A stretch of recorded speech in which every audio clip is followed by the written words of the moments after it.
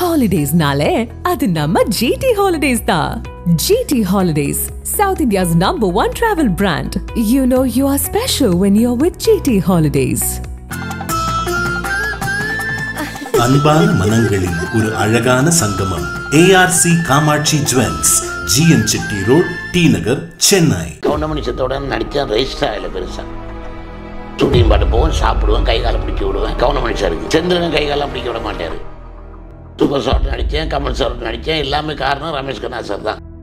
படத்தில் பத்து சீன் பண்ணேன் படம் வந்து நல்லா போச்சு படிவில் விட்டுறாது. விவேக் சார் ஆஃபீஸுக்கு போகிற காலையில் இங்கே வராது அன்னைக்கு கவுண்டமணி சேர்ந்து கோட்டையை உடைச்சி உள்ளே வந்து ஜெயிச்சது வடிவேல் சார் வடிவேல் சாரோட போய் சேர்ந்தா போல சாதாரண விஷயம் இல்லை சார் தொடர்ந்து ஒரு படத்தில் நடிக்க விட மாட்டார். அவர் சொல்கிறது அங்கே நடக்கும். அப்படி இன்னும் போராடி அவரோட சில சில சீன்களை ஜெயிச்சு அடிச்சு கேட்டா சொல்லாங்க அது வந்து டைரக்டர் போராடி என்ன போட்டது.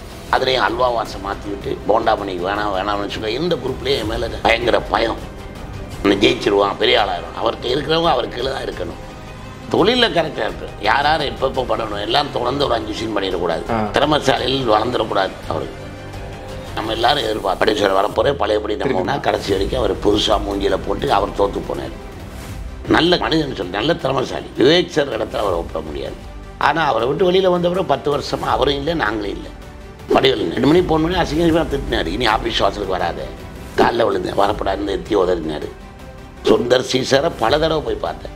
வடிவேல் சார் இருக்கும்போது எங்களுக்கு வச்சிருந்த மரியாதை படம். அவர் பொண்ணோட எங்களை விட்டாங்க. கவுண்டமன் என்ன சொல்லுவேன் நீ என்னதான் திறமை இருந்தாலும் அடக்கம் இருந்தால் தான் பெரிய ஆளாக வர முடியும் ஆனால் வடிவில் எப்படிப்பட்டு பிடிச்சிக்கிட்டு இருந்தார்? காரணம் எல்லாரையும் பாய்ச்சிக்கிட்டார்.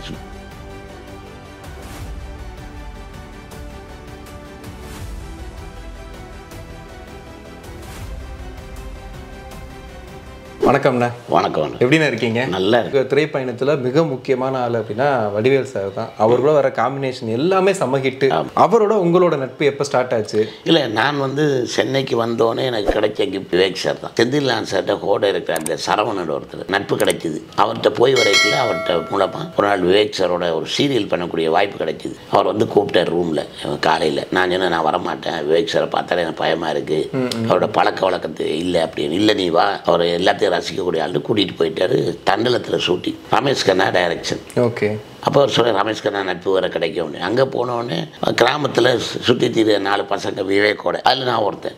ஒருத்தன் ஒன்று பேசியிருப்பான் நான் டயலாக் பேசிக்கல சிலோன் தமிழ் தான் பேசினேன். என்ன நீ பாட்டு சென்னையில் போய் ஜெயிச்சிருவியா சென்னை என்ன சாதாரணமா? அப்படின்னு சிலோன் தமிழில் பேசுவேன். டேய் நல்லா பேசுகிறேன் ஐயா. நல்லா இருக்கிற ஃபாலோ பண்ணு. த்ரூட்டா என்னோட போட்டுரு. அப்படின்னு சொல்லி அந்த சீரியல் பூரா பண்ணேன். அதுக்கப்புறம் நீ வீட்டை வாயா. சும்மா இருக்கு. அப்போ தான் நான் இலங்கை தமிழ் பேசுகிறேன் தனக்கு தேவைப்படுது சில சில படங்களுக்கெல்லாம் கூப்பிட Okay. ஆரம்பிச்சேன் டெய்லி காலைல வீட்டுக்கு போயிடும் அவர் காரெல்லாம் தொடச்சி வச்சுட்டு அவருடைய ஷூட்டிங் பாட்டுக்கு போவேன். ரமேஷ் கண்ணா சாரையும் பிக்கப் பண்ணிக்குவார். அதுக்கப்புறம் ரெண்டு மூணு சீரியல் பண்ண ஆரம்பிச்சேன் அப்புறம் படங்கள் ஆரம்பிச்சேன் அவரோட இருந்தேன். அவருக்கு என்ன ரொம்ப பிடிச்சி போச்சு. நல்ல ஹெல்ப் பண்ணார். இந்த மாதிரி போயிருக்கீங்க நான் வடிவேல் சார் கூட ஏன்னா கவுண்டமணி சத்தோட நடித்தேன் ரெஜிஸ்டர் ஆகல பெருசாக ஓகே. டெய்லி போவேன் செந்திலனுக்கு ஹெல்ப் பண்ணுவார். ஷூட்டிங் பாட்டு போவேன் சாப்பிடுவேன் கை காலை பிடிச்சி விடுவேன். செலவு காசு போய் வாங்கிட்டு வருவோம் அவ்வளோதான். ஆமாம் அது கவுண்டமணி சாருக்கு செந்திலன் சொல்லி. செந்திலன் கை காலம் பிடிக்க விட மாட்டார். சூப்பர் ஸ்டார் நடித்தேன் கமல் சார் நடித்தேன் எல்லாமே காரணம் ரமேஷ் கண்ணா சார் தான். அவர் மூலம் தான் அங்கே எல்லாரோடையும் நடித்தேன் கே சிவகுமார் சாரோட நடிக்கிறதுக்கு வாய்ப்பு கிடைச்சது சரத்குமார் சார் சொல்லி. இருந்தாலும் வடிவேல் சாரோட நடிக்கக்கூடிய ஒரு வாய்ப்பு இல்லையே சரியான அமையலையேன்னு யோசிச்சிருந்தேன். அப்போ இந்த பாரதி கண்ணன் சார் வந்து மன்சூரையும் ஆஃபீஸ் வரைக்கும் போய் வைக்க எனக்கு ஃப்ரெண்டு ஓகே ஓகே அவர்கிட்ட கேட்டேன் அவர் சொன்னேன் நான் ட்ராக் பண்ண போகிறேன் வடிவில் வச்சு அதில் பண்ணிக்கலான்ட்டு. அதே மாதிரி ராஜராஜேஷன் ஒரு படம். அதில் கே. பாலாஜி சார் ஆஃபீஸில் தான். அவங்க படம் தான். அந்த ராக் காமெண்ட் ராக்கில் போண்டாமணி போடலான்னு பேசியாச்சு. பெஞ்சமின் திருப்பாச்சி பெஞ்சமின் கம்பெனி சாப்பில் போண்டாமணி டைரக்டர் Okay. இது வடிவேல் சார் சொன்னால் அவர் ஒத்துக்க இல்லை. இல்லை இல்லை ட்ராக்கில் அது வேணாம் தனியாக பண்ண போட பிறகு அவருடைய மேனேஜர் முருகேஷ் கூப்பிட்டு இவனை முட்டாள்தனம் பண்ணாத ஒரே ஹீரோவோடய நீ பண்ணிலாம் ஜெயிக்க முடியாது. இப்போ ட்ராக் பண்ணா அப்படி தான் எல்லாம் ஜெயிச்சாரு. போனாமணி நல்லா இருக்கான் வித்தியாசமா. அவரை பண்ணட்டுமே. அப்படின்னு சரின்னு சொல்லி ஒத்துக்கிட்டாரு. அந்த படத்தில் பத்து சீன் பண்ணு. அந்த படம் வந்து நல்லா போச்சு. தேனிசை தேவா சார் ரீ ரெக்கார்டிங் பண்ணும்போது என்னை கூப்பிட்டு நல்லா பண்ணியிருக்கையா? காம்பினேஷன் நல்லா இருக்கு. படிவில் விட்டுறாத. அவன் ஆசிரியர் போய் பாடுங்க அதை விசி கோணா சார் கூப்பிட்டு வாழ்த்து. வி சேகர் சார் கூப்பிட்டு வடிவில் விட்டுறாட்டு எல்லாத்துக்கும் மேலே விவேக் சார் ஆஃபீஸுக்கு போகிறேன் காலையில். இங்கே வராதுன்ற ஏன்னு திடீர்னு வராதுன்றீங்க. இல்லையா? நீ பெரிய ஆள் ஆகணுமா? இல்லையா? சினிமாவில் நம்பர் ஒன்றா வரணுமா இல்லையா? வரணும். என் கூட இருந்தால் வர முடியாது. என்ன பிடிச்சது என்னை விட உனக்கு திறமை காம்பினேஷன் பொருந்தியதுக்கு வடிவேலோட தான். நான் பார்த்தேன் நேற்று படம். அவ்வளோ பின்னி இருக்க. நீ வடிவேலை பிடிச்சிக்க. நான் எப்போ வேணாலும் உனக்கு ஹெல்ப் பண்ணுவேன். சொல்லி அந்த புண்ணியம் அனுப்பி வச்சு யாரும் செய்ய மாட்டேன். வடிவேல் சாரோட போய் சேர்ந்தா போல சாதாரண விஷயம் இல்லை சார் உள்ள பல இன்னல்கள் பிரச்சனைகளை தாங்கிக்கிட்டு அவமானங்களை தாங்கிட்டு தான் வெளியில் சினிமாவுக்கான சான்ஸ் எடுத்து இந்த காலத்தை விட அவமானங்கள் உள்ள. தொடர்ந்து ஒரு படத்தில் நடிக்க விட மாட்டார். அவர் சொல்கிறது அங்கே நடக்கும். அப்படி இன்னும் போராடி அவரோட சில சில சீன்களை ஜெயிச்ச மருதமலை நம்ம கண்ணு கண்ணு படத்தில். அடிச்சு கேட்டா சொல்லாங்க அது டைரக்டர் போராடி என்ன போட்டது. போராடி போட்டாங்க. மாரிமுத்து சார் போண்டாமணி தான் போட அவர் அல்வாவாசம் பண்ணணுன்றார் போண்டாமணி தான் பண்ணணும்னு பிடிச்சி நான் குற்றாலத்துக்கு என்னை தனியாக வர சொல்லி என்னை விட்டு போயிட்டாங்க. பண்ண வச்சு டேரக்டர் மாரிமுத்து சாருக்கு நன்றி சொல்லணும். அதே மாதிரி இங்கிலீஷ்காரில் நானா துருட்டா பண்ணுற சக்தி சமர் சார் கேரக்டர் ஓகே அதுலேயும் அல்வாவாசம் மாற்றி விட்டு போண்டாமணிக்கு வேணாம் வேணாம்னு சும்மா கும்பல வேணாம் வேணாம்னு சொன்னார் அவர் சில இடத்துல ரெஜிஸ்டர் அவருக்கு அவங்க இருந்த குரூப்லேயே என் மேலே பயங்கர பயம். பயம். ஆமாம் ஜெயிச்சிருவான் பெரிய ஆளாயிரும். அவர்கிட்ட இருக்கிறவங்க அவர் கீழே தான் இருக்கணும். நல்ல நடிகர் மாபெரும் கலைஞர். சந்திராவும் நாகர் செய்த சேர்ந்து செய்த கலவை. இன்றைக்கு வடிவேல் சார் கூட சேர்ந்தபடியால தான் நான் உலகம் பூரா தெரியுது. கண்டிப்பா. அல்லாட்டி தெரியும். எல்லாரும் கேட்குறா அவருக்கு எனக்கு காசு கொடுக்க காசு தேவையில்லை. அவரை வச்சு உலகம் பூரா திருநா எல்லா மீன்ஸ்லேயும் வர்றேன்னா அதுக்கு வடிவேல் தான் காரணம். கண்டிப்பா. அதனால தான் எல்லாத்தையும் தாங்கி நாங்கள் இருந்தோம். அப்போ நம்ம வெளியில் விட்டு வந்தால் வேறு மாதிரி வந்திருக்கலாம்னு இருக்கு சொல்கிறாங்கல்ல அதுக்கு அந்த நேரம் பயம் எங்களுக்கு. அவரை விட்டு போயிட்டா எல்லாம் போயிருமே. ஸ்டேஜுக்கு போகிறோம் இன்னைக்கு. அடிச்சு கேட்டாலும் சொல்லாங்கன்னு கூப்பிடுறாங்க. அதனால் வடிவேல் சார்கிட்ட போராடி தான் மருதமலை. சுராஜ் சார் போண்டாமணி பண்ணா தான் நல்லா இருக்கும். அந்த சீன் வேணாண்டது அதை நான் தான் பண்ணேன் அர்ஜுன் சாரே வாழ்த்துனார். அது பண்ணி அவர் படத்தில் சொந்தமாக த்ரூட் ரோல் கொடுத்தாரு அர்ஜுன் சார். அதே மாதிரி இங்கிலீஷ்காரன் S P S A Rajkumar வந்து ஏதாவது ஒரு சீன் வைக்கணும்னாக்கா அந்த சீப்பு காமெடி. சீப்பு வச்ச கலந்த சின்னம்மா வந்து ஜெயிலுக்கு போய்க்கல சீப்பு காமெடி தான் சொல்லி சிரிச்சாங்க. சீப்பு வச்சு கல்யாண திருத்த மாதிரி அந்த மாதிரி அம்மா ஆசைப்பட்டது அடிச்சு கேட்டாலும் அம்மா. ஆமாம் அதே மாதிரி நிறைய சீன் அவரோட பண்ணெல்லாம் சுந்தரா மாப்பிள்ளை ஆமா. ஒரு நம்பர் ஒன்று முதல் படம் அவரோட சேர்ந்து. அந்த மாதிரி நிறைய விஷயங்கள். ஏன்னா நினைக்காத நாளில்லை பிரபுதாவோ அதில் த்ரூட்டு. இப்படி நிறைய படங்கள் கமிட் ஆகி தான் இன்னைக்கு வரைக்கும் போண்டாமன் ஒருத்தன் தெரியறவனா இருக்கு அந்த நன்றி விஷயத்தை தான் மறக்க முடியும். ஆனா பர்சனலி வந்துட்டு இது மாதிரி தான் இருப்பார் அவரு வடிவேல் சார் உள்ள நீங்க ஷூட் முடிஞ்சதுக்கு அப்புறம் உங்ககிட்ட பேசுறது வைக்கிறது எல்லாமே அதெல்லாம் கலகலப்பாக இருப்பார். நல்ல கலகலவா ஜாலி பண்ணி ஆஃபீஸ் வந்தால் தண்ணி சாப்பிடுவார் கொள்வார் கலகலப்பாக இருப்பார். தொழிலில் கரெக்டாக இருப்பார். யார் யார் எப்பப்போ பண்ணணும் எல்லாம் தொடர்ந்து ஒரு அஞ்சு சீன் பண்ணிடக்கூடாது.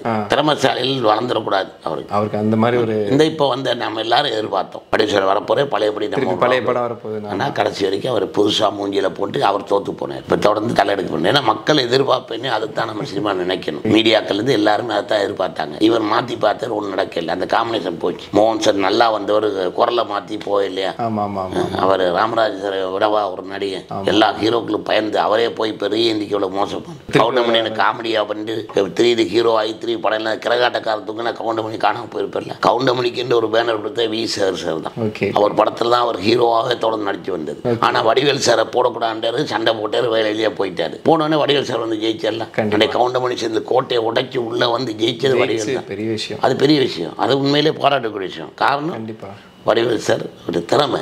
நல்ல க- மனிதன் சொல்லி நல்ல திறமைசாலி. விவேக் சார் இடத்துல அவரை ஒப்பிட முடியாது. விவேக் சார் நீங்கள் வேலை இருந்தே இல்லையோ ஆஃபீஸுக்கு கூப்பிட்டு என்ன செய்றீங்க எவ்வளோ செலவாகுது ஸ்கூல் ஃபீஸ் கட்டி. ரொம்ப அன்பா இருப்பாப்ல. ஒன்றும் குடும்ப பிரச்சனைலாம் கேட்டுட்டு போய் இவர் அதெல்லாம் கிடையாது. சொந்தமாக நடித்தவன் போயிடணும் ஆனால் இதே நேரத்தில் அவர் கூப்பிட்ற ஆஃபீஸில் இருக்கணும் சீன் இல்லாடி இருக்கணும். அப்படியெல்லாம் நான் வெளியில் போகிறதெல்லாம் பிடிக்காம இருந்தது. வெளியே வேலை பார்க்க கூடாது. ஏன்னா இந்த இப்போ என்னோட சிங்கமுத்தனை தான் வாழ்க்கையில் நினைச்சு பார்ப்போம். அம்மாட்ட போகிறதுக்கான சிங்கமுத்தனை ஏன்னா கல்யாணத்தை தன்னுடைய பிள்ளை மாதிரி வீட்டில் வச்சு பத்திரிகை அடித்து எல்லாம் செய்து எல்லா செலவும் பார்த்து கல்யாணத்தை முடிச்சு வச்சதுக்கு சிங்கமுத்தனை இப்படி விஜயகாந்தன்கிட்ட போகிறதுக்கான சிங்கமுத்தனை இன்னைக்கு வரைக்கும் எனக்கு எல்லாம் ஹெல்ப் பண்ணிட்டு இருக்காரு. அப்படிப்பட்ட ஒரு நல்ல மனிதன் அவரை வந்து ஒரு பேட்டியில் நான் சொல்லிட்டேன். பாண்டிச்சேரியில் ஒரு பேட்டியில். சரி. வடிவேல் சாரும் சிங்கமுத்தனும் மீண்டும் சேர்ந்தா நல்லா இருக்குமா? இல்லையாண்ணா கண்டிப்பாக சேரணும் சார். நம்ம சினிமாக்காரன் இன்னைக்கு அடிப்படுவோம் கலைஞர்கள் நாளைக்கு ஒன்று சேர்ந்துக்குவோம். அவங்க காம்பினேஷன் அடிக்க முடியாது. அதனால ரெண்டு பேரும் ஒன்று சேர்ந்தா நல்லா இருக்கும் அப்படின்னா தலைப்பில் போட்டாங்க. போண்டாமணியின் ஆசைன்னு நைட் ரெண்டு மணிக்கு ஃபோன் பண்ணுறாரு வடிவேல்னு. சரி. ரெண்டு மணிக்கு ஃபோன் பண்ணி அசிங்கமாக திட்டினாரு. இனி ஆஃபீஸ் வாசலுக்கு வராத.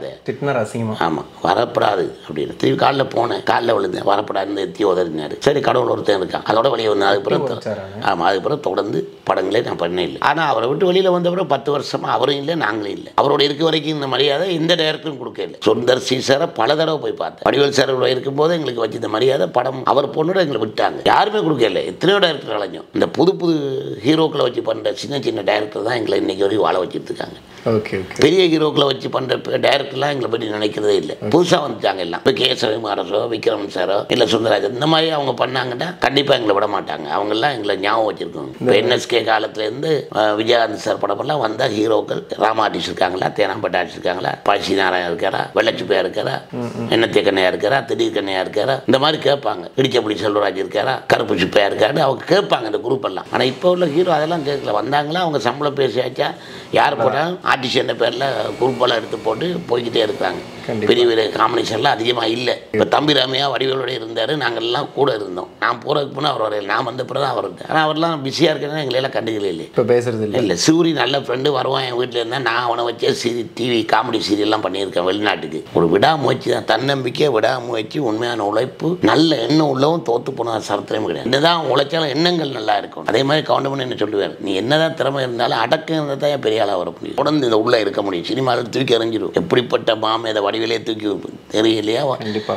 ராமராஜனை தூக்கி எறிய இல்லையா கவுண்டமணி தூக்கி எறிய இல்லையா ஆனால் வடிவேல் எப்படிப்பட்டு பிடிச்சிக்கிட்டு இருந்தார்? காரணம் எல்லாரையும் பாய்ச்சிக்கிட்டாரு சுத்தவரை. சின்ன டேரக்டர்கள்லேருந்து எல்லாம். இப்ப நம்ம யாவார் சார் படம் பண்ணிக்கலாம். மாதவனுக்கு அந்த சிவப்பா இருப்பார் ஹீரோ. அவரை கதை சொல்லி அட்வான்ஸோட வந்தாங்க. வடிவேல் சார் மாட்டேன்ட்டு. இந்த மாதிரி ஹீரோலாம் நான் பண்ண மாட்டேன் மாட்டேன்னொடனே அவன் அந்த அவரோட லைஃப் சீரியல் பண்ணியிருக்கேன் யோகர் தரமான ஒரு ரைட்டர் நல்ல சாருக்கு என்ன ரொம்ப முடியும்? அவரும் இவ்வளோ போராடி பார்த்தார். போயிடுச்சு எல்லாம் முடிஞ்சுது. இன்றைக்கி தான் சொல்கிறேன் நம்ம வாழ்க்கையில் விடாமுயற்சியோட உழைச்சா கண்டிப்பாக ஜெயிப்பா அதில் மாற்றமே இல்லை. ரொம்ப நிறைய தகவல்களை தெரிஞ்சுக்கிட்டோண்ணே உங்களை பற்றி நிறைய தெரிஞ்சுக்கிட்டோம். உங்கள் நேரத்துக்கு ரொம்ப நன்றிண்ணே. நன்றி சார் ஹாலிடேஸ்னாலே அது நம்ம ஜிடி ஹாலிடேஸ் தான்.